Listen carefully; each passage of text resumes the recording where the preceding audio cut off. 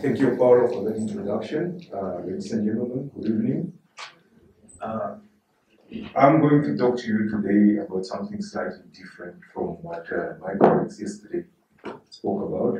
It's related but slightly different in the sense that uh, all the speakers yesterday were focusing on the upstream sector the oil and, oil and gas, but I'm going to focus on the downstream, midstream and downstream sector of the oil and gas.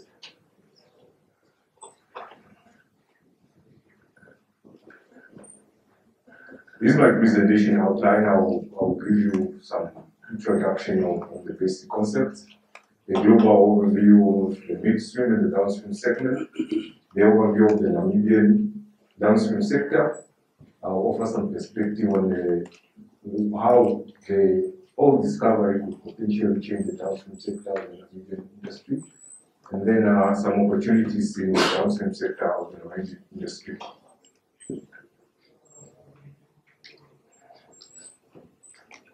The petroleum uh, sector industry is made up of, of, of, of three segments. The upstream sector, which uh, comprises of exploration and production. The midstream. After exploration and production, now the oil is, the, the production platform. So the oil now needs to be taken either to the customers or the storage facilities. That's where the midstream sector starts. Meaning the midstream sector starts the storage and transportation of, uh, of crude oil or refined products.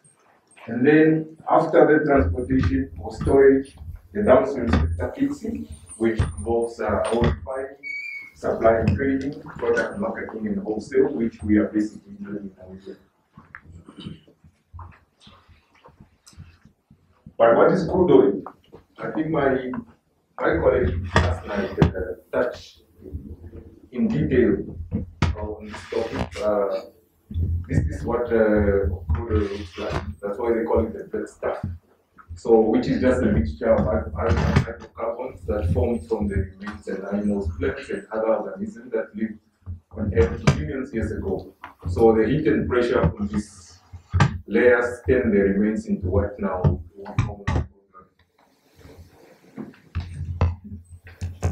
What are the characteristics of the mid and downstream sector?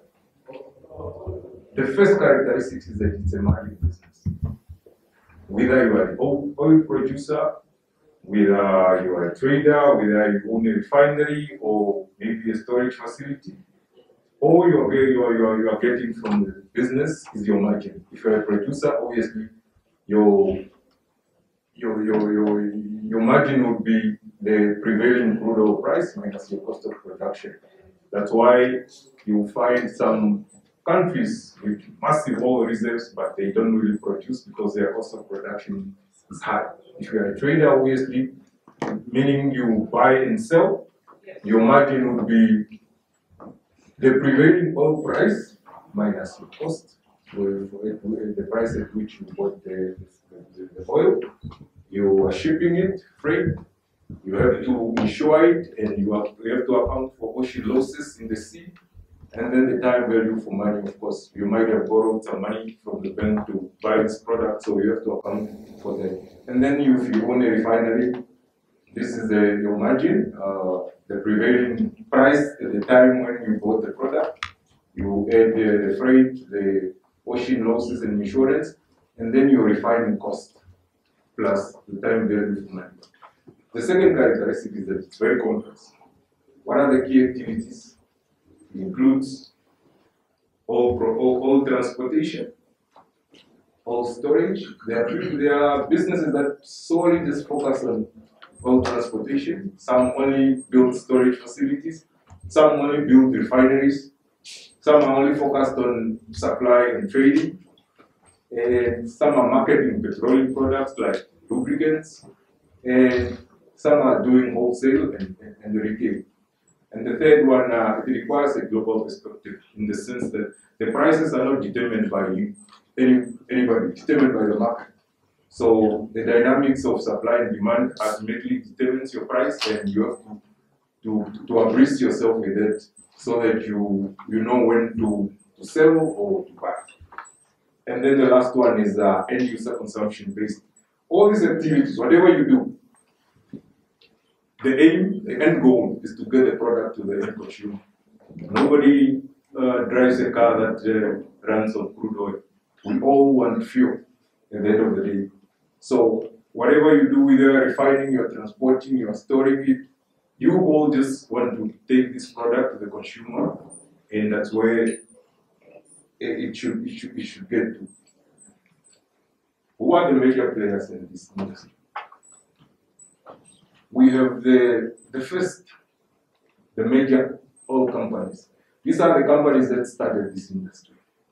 If uh, there is a documentary on Al Jazeera about Secret of Seven Sisters, the, the oil companies that started uh, this industry. Uh, I think the, the, the, the founder of Shell is actually was called the Napoleon of oil. And then we have the ExxonMobil. I'm sure maybe some of you have heard of uh, Rockefeller. This was their, it used to be called uh, Standard Oil. Exxon and Mobil were two companies and they were combined. Uh, there was also Gulf and Texaco. It was uh, combined into Chevron and then this uh, British Petroleum. Then you have the national oil companies. Obviously, the first one is the Saudi Aramco. Uh, somebody the other day said there are companies in the Saudi Arabia because uh, that was the time when I think it ran into a trillion or two trillion market capitalization. And then you have uh, this company is from uh, Mexico, Sonangol, this Angola, and then Nigerian Petroleum. And uh, you have uh, ADNOC, this is Abu Dhabi National Oil Company. They also participate in the upstream, downstream, uh, midstream, and downstream. And then you have this large integrated in the, in the sense that they are focused on all the sectors. Uh, Total Energies was Total. And then they are now expanding into renewable. That's why they are expanding their name to Total Energies. Equinor was Statoil. This is uh, from Norway. They are focused also on, on, on, on, all kind of energy sources. And then Repsol uh, from Spain and Eni is from Italy. And then you have all refiners. These companies only build refineries. They're not interested in selling and buying. They just want to build refinery. If you have crude oil, you take it to them. They refine for you. You pay their margin, and then you take your product wherever you want. And these are the, the Valero, Reliance, and then you have the the oil traders. We have Trafigura. Trafigura owns Puma Energy, the Puma we have in Namibia, and Vitol. Vitol owns uh, Shell and Vivo. Yeah, Vivo. Vivo. And then Gunvor and then Glencore. These ones are only focused on the trade on the downstream sector, they're not participating in the upstream. And these are the common, I mean, they are common oil benchmarks. You know when oil is priced, you it's based on, on benchmarks. Depending on your crude types. So this crude types determines your price and the appetite for for, for, for market participants to buy crude. Well, Angola is heavy sweet. You can Russia, you can see here Russia is uh, Urals, and uh, Saudi Arabia is Arabian Light. And we have this. Uh, this is a very important uh, benchmark in terms of pricing. I remember during COVID, it was the first to, to crash, and the whole market crashed. Actually, it's, it's, it's Western Texas Intermediate and Brent crude. These two are very important. And then you have the Malaysian Tapis. Uh, the report we are getting is that we are most likely to discover light sweet. So the reason why it matters is because for some, when you have a refinery, you want uh, crude oil that is easy to refine. You can say, see here in Venezuela is heavy, very sour, very heavy sour. This, this crude oil is very, very hard to refine. So if you are comparing it to light sweet, uh, somebody with, with a refinery would most likely take light sweet as opposed to very sour crude oil. And then these are the, the largest refineries in the world. We have uh, first one here, uh, India, by Reliance, Uh, they are producing 1.2 million barrels per day. And uh, in Africa, we only have Dangote Group here. The one it's coming on board. It's only getting on board this year, producing 650,000 barrels per day. And then, uh, surprisingly, China, who is the second consumer of oil, they are trading back here at 18, meaning they are getting oil from everywhere they can find. They don't really have refineries at home. And what are the derivatives of crude oil? Nobody has a car that is running on crude oil here because that's just the raw material. From crude oil, you, we need gasoline, which is petrol. Need diesel, some call it gas uh, jet fuel, and fuel, oil for ships. We call this now very low sulfur fuel oil, and, and then uh, kerosene and naphtha for your petrochemicals, for your paint and pesticides. And then we have gas. I'm sure a lot of us have uh, gas stoves. So this is the, uh, the gas. It's not the natural gas, it's the liquefied petroleum gas. Global oil pricing. Who price oil? When you see those prices on your map, on the screen, it's the global, not Indian oil. We have a company started, uh, it, was, it was started by journalists. These journalists were just interested in reporting about prior about oil prices, and he turned into a global company. It's called uh, SP Global Platts, and now I think it's renamed to Global Commodity Insights. They remove the Platts. And they, they do assessments on a daily basis, whether it's 60% of crude in the world. Uh, and I, I think it, it came down to 60 because Saudi Arabia protested against them and they moved to their competitor, Argus, Argus Media Group, which was started in the 1970s. So these guys, they do assessments every day. When traders are doing deals, they, they, they report on those deals and they report the product, the daily high and the low. And they call that the mean of Platts. So when they are drafting their contracts, they are always referring to mean of Platts. It means it's mean of what they have assessed per day for that day. And the units they use is either US dollar per barrel, US dollar per metric ton, especially in Europe. And for the US market is US cents per gallon. And the trade are guided by international commercial terms. I think it's not only the oil industry, all other industry also use Incoterms that are reviewed every 10 years by the International Chamber of Commerce. And these are the Incoterms. Whatever you do, whether you want to get product, it's either you you you you you, you, you trade in ex-works or but for Namibia we're using deliver at place. Uh, these terms define the risk. At what point does the seller assume the risk and the buyer assume the risk? So for Namibia, we only assume the risk when the product is delivered at in our terms. When it's in Walvis Bay, that's when we assume the risk. Until it, it, it lands there, it's not our responsibility, it's the seller's responsibility.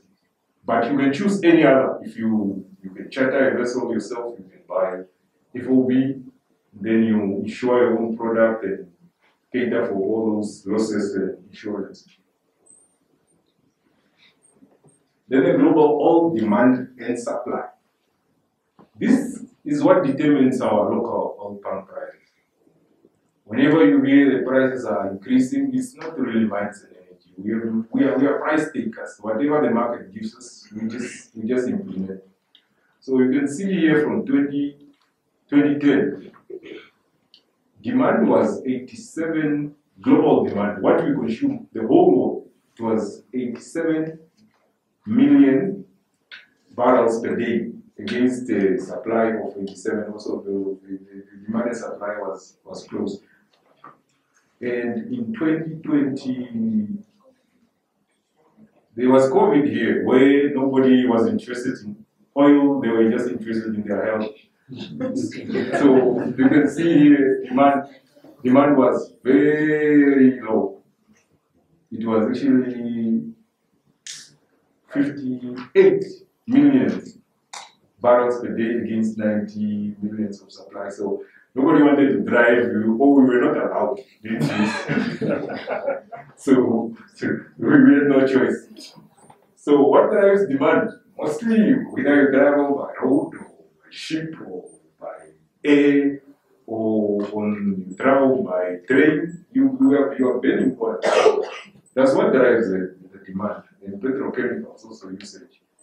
And what drives supply? Mostly it's OPEC plus. It was just OPEC. This is an organization of petroleum exporting countries. Plus, they added 10 members. And this organization was actually not started really because they wanted to start it. It was in protest. Remember the seven sisters I showed you who started the oil industry. So those sisters, what they in 1960 they reduced the price of uh, the Venezuelan oil in some Arab countries. That's when they these uh, uh, members decided we, we are going to start our own organization. We are not going to be our terms are not going to be dictated by the Seven Sisters, who were controlling close to 85% of, of, of, the, of the global market. Global production here. And here I will, I will emphasize that production doesn't necessarily mean supply. Because you can produce, but you are not necessarily going to supply anyway. La, uh, OPEC is controlling the global supply, but the United States is controlling the global production. Here you can see the top five uh, members of OPEC and the top five non-OPEC members. The US is producing 21 million barrels per day. But uh, Saudi Arabia is producing 9.9 million barrels per day. But Saudi Arabia is controlling supply. Why? Because the US consumes their own oil. They consume, uh, consume around 20 million barrels per day. And they are producing 21. Saudi Arabia is probably just using 500,000 from the 9 million. So the rest of it, they send to us and the rest, of the world. That's why they are controlling supply, but the US is, control, is controlling production. And the object, what was the objective of forming uh, OPEC? Uh, it was to coordinate and unify petroleum policies among member states to secure fair and stable prices. That's why whenever prices are going down, OPEC members always have a meeting so they discuss that how much money do we need in our countries for our budget. Let's cut production and the prices will shoot up. And that's what happened uh, this month. Saudi Arabia decided they are cutting 1 million, 2 million barrels from the market. And suddenly we have $1.70 uh, per liter. We're actually financing some of the projects in these countries among OPEC members. And uh, like I said, the US is the biggest oil producer, but they don't they don't supply anybody because they need they are very thirsty for their own oil, or maybe the economy is too big, and they can't get some of the oil, especially from Russia. So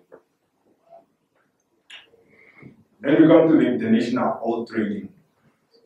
You can see this guy is probably a trader. You can see the red numbers. there. It's a bad day in the market. Whenever you see red, red numbers in the market, it's an extremely bad day and he has probably made some mistakes. That's why he looks like that. What, what does it mean to, to, to trade oil? It's, it's, a, it's, it's a simple, actually, business principle. You buy and sell.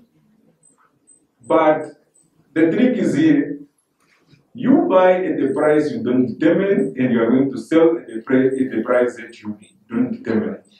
So now what you need to control is when do I sell and when do I buy? You buy low now, and you sell later. But what if the price actually is not in your favor? You can sell high now and buy lower later, maybe. Whatever decision you make really is determined by the market, and that's why when I say you need a global global perspective, it means you need to appreciate yourself with the market every day if you are in this business. When should you buy or sell? When prices are going up, you can you can buy because you are hoping it, uh, it hasn't reached its peak. So you buy when it's here and you go sell when it's here. And when it's fall, prices are falling, you, you can you can sell when it's here so that it doesn't get here and you lose more because you are you don't know where you, how far it can go. So let go of this product immediately so that you don't lose more and you you in a way you your, yourself. So long position here means you're buying because you are holding to it and you're hoping you're gonna sell it at a high price, and short position means you are letting go, it's a hot potato. And this is the overview of the Namibian downstream sector. In Namibia, we don't really trade per se because the Namibian market is very is, is, is regulated. So we, we we buy and sell, which is trading. We store, we distribute, wholesale and retail marketing of refined petroleum products. And our downstream sector is actually 20 billion a year revenue. This, this, this industry is very old. I think it's old as old as the first car. When was the first car in Namibia? Maybe somebody else. I'm sure they were getting fuel from somewhere. So it's, it's very old, and uh, Namibia has no crude oil reserves or refinery. All our products, uh, refined products, are come, come from the Middle East, Europe, and, and Singapore, especially uh, Middle East. We get uh, diesel Europe is mostly petrol in Singapore. All market participants are licensed. For you to participate in this market, you need your license from Mines and Energy. The market is oligopolistic. Oligopolistic means there are few players in the market who dominate, and they probably know each other and they talk every day. And I can assure you they probably do. This is the legislative framework of the Namibian downstream sector. It's regulated by Mines and the Minister of Mines and Energy. These are the legislation energy policy of 2017. You have the Petroleum Products and Energy Act of 1990 and the Petroleum uh, Products Regulation of 2000. And these are the licenses where, which you need to participate in this market. You can just decide, uh, I'm, I'm, going to start a in oil company. You need a wholesale license. This allows you to import, export, store fuel, distribute, and resell in bulk. And the retail license, this is for a service station. On, and it's site specific. You can move this license from NUST to UNAM. You, you need another license for, for UNAM. And the consumer installation certificate, this for your own use, if in a mine or in a farm or construction site, you, you need this consumer uh, installation certificate because if something happens and you spill, we need to hold you accountable in terms of our environment. And these are the gazetted specifications. We have unleaded petrol 95, automotive diesel diesel oil, which is 50 ppm and 10 ppm. This is ultra low sulfur diesel 10 ppm and no Gungula is allowed. I'm not sure whether Gungula, Gungula is actually, I think it's a Shiongo way of fuel tourism, where people are going into Angola because the prices are low and they come with containers and sell wherever without licenses. And it has actually created a, a, a big problem in Ohangwena region. Who is from if, you are from there and you are thinking of, opening up a service station in that region, you are in trouble. Because Mungula guys are going to sell next to your pump in a container. and this guy was probably going to sell just next to this service station. And there is this question that uh, I often get, why don't we import fuel from Angola Angola diesel, which uh, the Mungula guys uh, are getting from the service station near the border is 1,500 ppm. And like I told you, we only, our specification is 10 and, and then 50 and 10 ppm. And the Angolan uh, petrol is 91. and we only have 95. With, with, with, with diesel, the lower the sulfur content, the better the diesel. And uh, with, with petrol, the higher the octane, the better the petrol. You can see that our octane level in our, in our, in our petrol is higher than the, the, the one. And in line with our SADC convention on, on cleaner fuel, uh, we all the SADC countries are supposed to phase out high sulfur diesel uh, by 2027. Angola is very behind. You can see they are still at 1,550, so they are still in Windhoek and behind.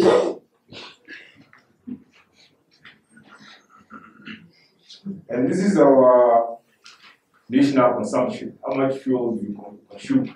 I told you the whole, whole world consumes around 101 million barrels per day, but we only consume 1.1 billion liters a year. This is a per year, not, not per day. And uh, diesel, you can see here the statistics. Diesel is consumed more than petrol. And uh, the, the, these numbers are important because now, if you have to build a case for a refinery, it's a question I get. Why don't we build a refinery?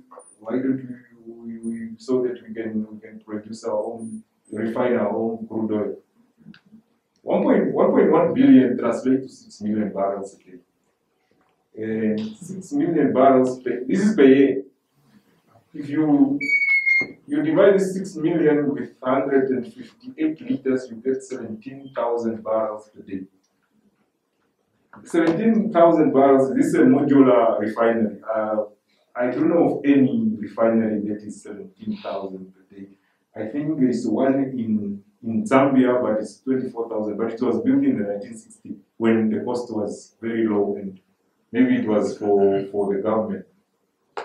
So if maybe we have to consider a refinery, we have to consider also whether we can supply our neighbor in Botswana or Zambia. But I told you Zambia is a small refinery.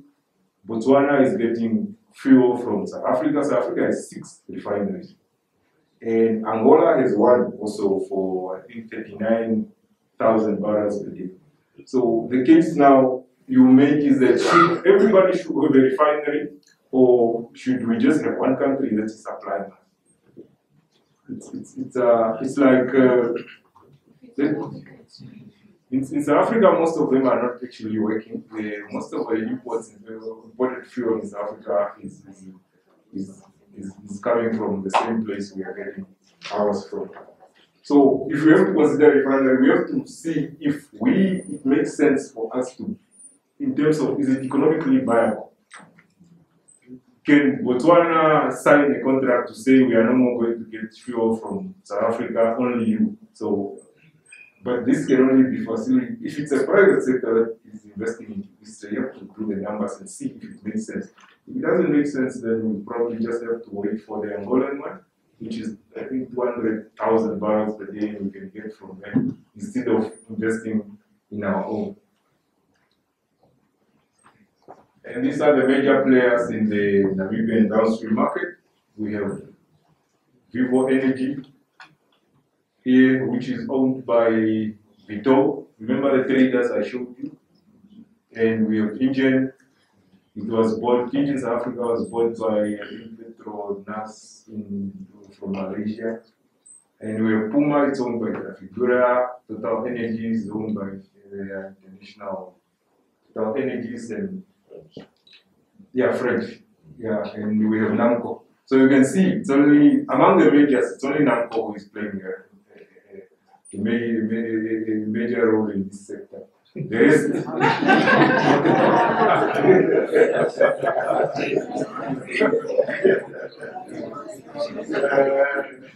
you, you can see about the market share, I mean, all, all of them. But which other sales stations do you know? From this. For, for us to determine, because we are talking of the local market, some are obviously exporting and all these things, but you can see Namibians, we don't really own this industry. And this is just a picture of where we get our fuel. You can see here, this is the Arab Gulf. We call this market the Arab Gulf, where we get most of our diesel. talking of Oman, Bahrain, United Arab Emirates. And this is where Singapore is. We also get our petrol, and then here we have the Europe, where we also get our petrol.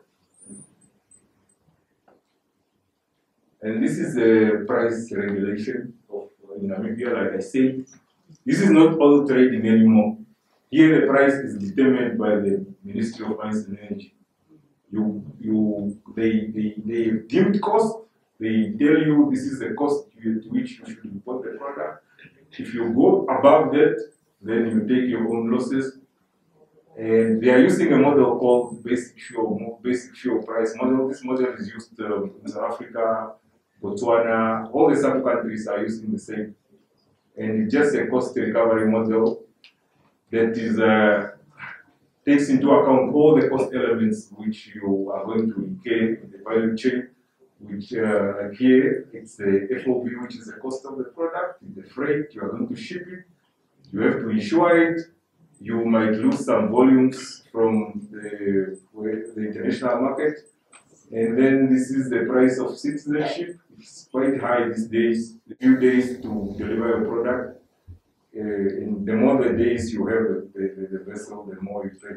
And the cargo dues, which is just landing, landing in wharfage uh, for NAPWA.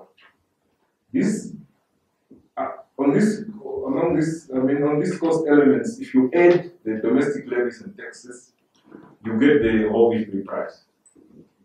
And then if you want to get the price for Katima, you add the rail to Grootfontein because you have to transport this product to, to and there's no rail to Katima.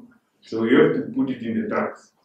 And the road transport on fuel is, uh, is very expensive because now the rail you can have uh, a lot of fuel tankers at once and for, for, for the trucks you probably need 20 of those and it becomes expensive. That's why prices in some, some, some, some parts of the country are very expensive. How do these participants make money in this industry? Uh, by law, you cannot own license, you cannot uh, uh, operate a, a, a, you cannot have a wholesale license and a retail license. It's called vertical integration, meaning if you are importing, you can sell yourself what you imported you need somebody to sell it to. So you are only given a license to import, to distribute, but you cannot own a service station. And there's a, I think, a question where people say, no, but NAMCOR is having service stations and all this, but Puma and Total and everyone else have service stations, but that question is never been asked. But the, the short answer is that we build it. It's like you're allowed to build a house, but you cannot live in it by law. You can only rent it to somebody who has a license to live there. So that's why when you see these service stations, none of the old companies are, are running those service stations. When they build the service station, you go to my Energy and say, I know how to run a service station. I can have an agreement with an old company, and you get into an agreement, a supply agreement. How do these companies benefit? obviously you have to, they will supply you with fuel and you have to pay them rent and franchise fees for their branding. So that's all they get from the, the, the, the station. You can also sell to commercial business uh, in the export market. Uh, recently, it's been uh, uh for our neighbor in Zambia and Botswana you know, uh, Beira is closer to Zambia compared to, to, to, Namibia. But Zambians prefer to get products from Namibia instead of getting it from Beira because you can spend 10, 15, 10 to 15 days in the port of Beira compared to driving a truck to Namibia, lift in one day and then you go back. So you spend five days, but you save at least 15 days in Beira, which is near.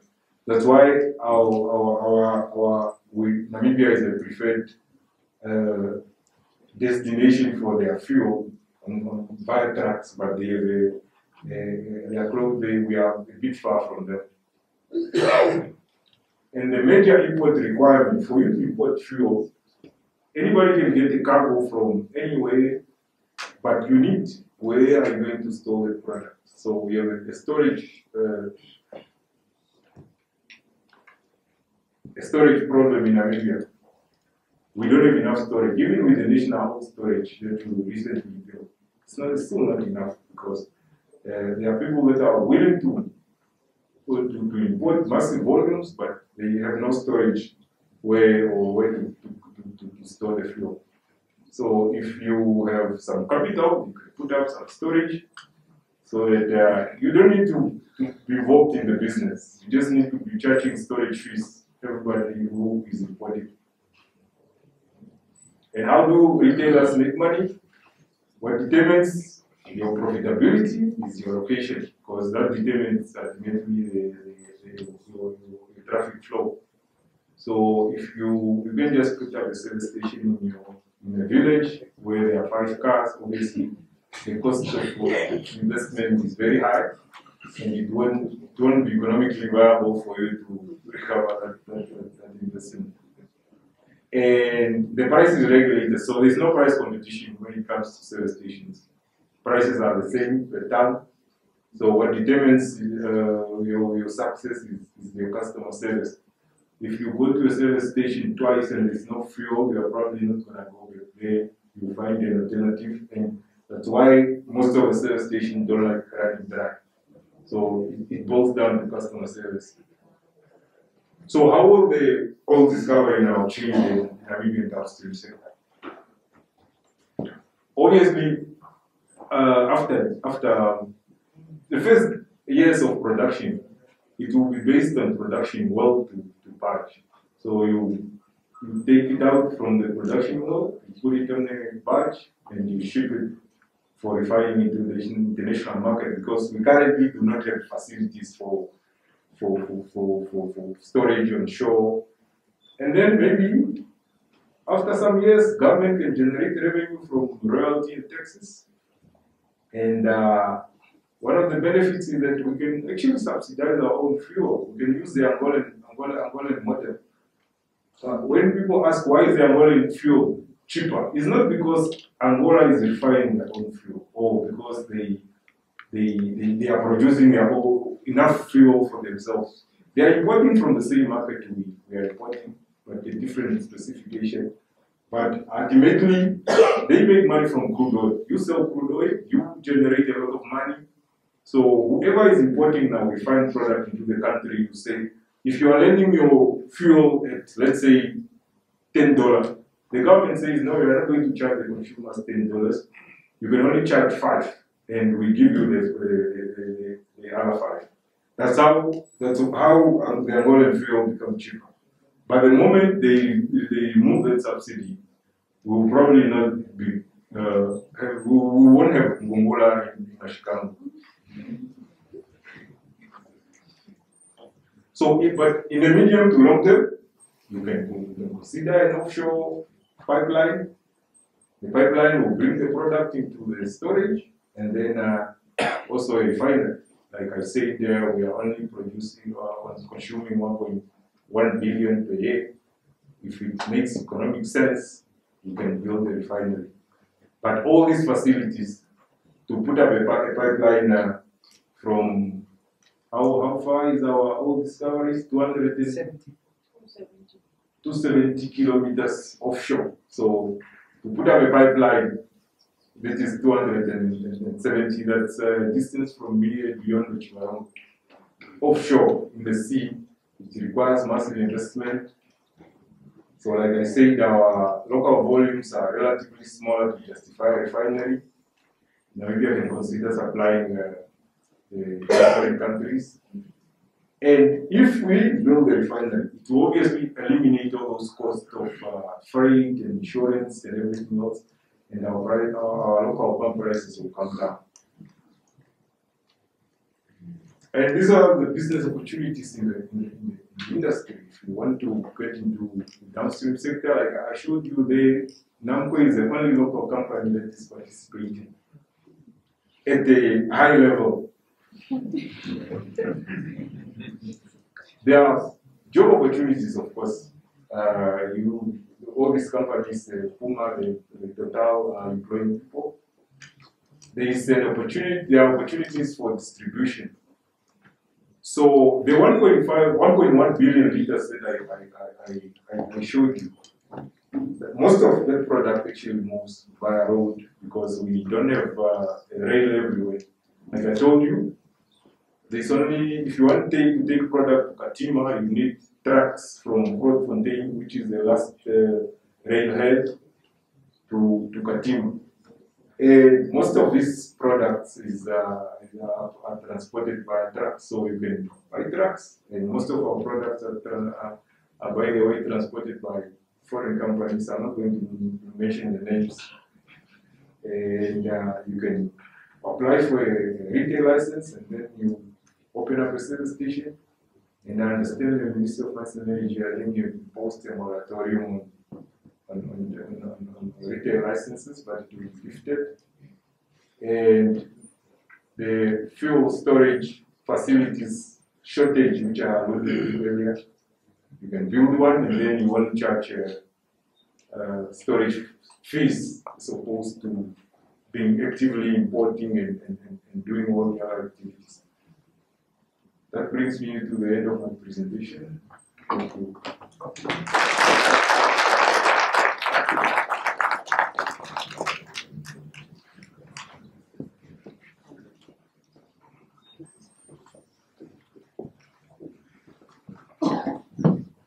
Thank you very much, Petrus Nuuyoma.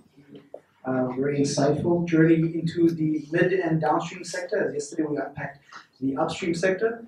Um, ladies and gentlemen, I'd now like to introduce our second speaker, who's also